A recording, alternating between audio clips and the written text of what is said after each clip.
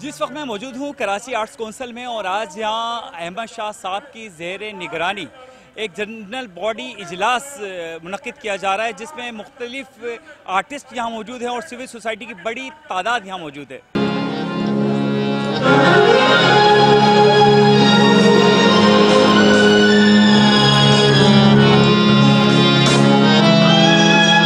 समझता हूँ कि जो काम अहमद शाह साहब यहाँ कर रहे हैं, वो बेसिकली तो रियासत का काम था।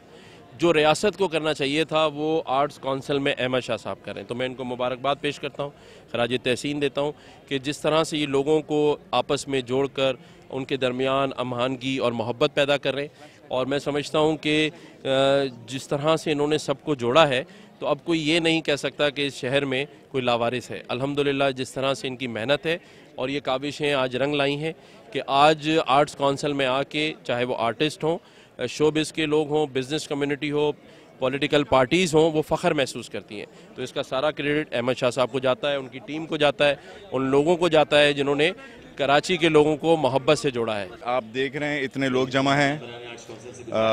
जनरल बॉडी मीटिंग है, हर साल होती है, और होनी भी चाहिए। यहाँ पे जो काम हो रहा है जिस तरह से अहमद शाह साहब ने हमारे प्रेसिडेंट ने, इसलिए कि मैं उसी, उन्हीं के पैनल का हिस्सा हूँ, और मैं देख रहा हूँ पिछले पंद्रह साल से कि कितनी ज़्यादा तरक्की हुई है, कितना आगे बढ़ा है, कितने आपने खुद इस चीज़ कुछ चेंज देखा है।